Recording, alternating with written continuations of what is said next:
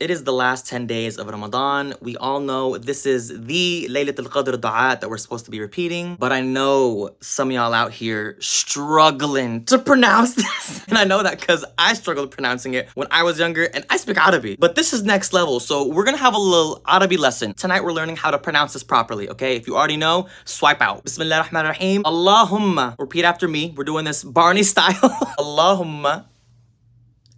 Innaka. Allahumma innaka. Now this is where it gets difficult. Afuun. Afuun. It starts with a a, not a, not afuun. Afuun. It's a long u and then o. Okay? Afuun. Not afun, not afwan, afuun. I had to mentally separate the word to make sense of how to pronounce it. Afu, long u, afu, on. Afu, on. When you put it together, afuun. Allahumma innaka afuun.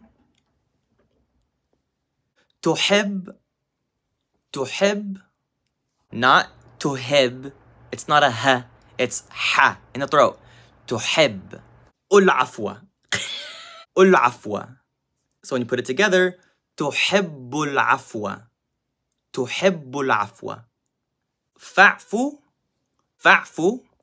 Not fa'afu or fa'fu. Fa'fu. There's a sukoon on the ain, so it's fa'fu. But when you say it faster, it does end up sounding more like fa'fu. Fa'fu.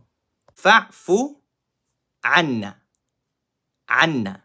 It's a ain, not an alif. It's not anna, it's anna. Sometimes I do see anni, which means me, and anna is us. But altogether, Allahumma innaka afuun tuhibbul afwa fa'fu anna. Allahumma innaka afuun tuhibbul afwa fa'fu anna. Or fa'fu anni. I hope this helped. May Allah pardon us and allow us to all witness Laylatul Qadr. Allahumma ameen.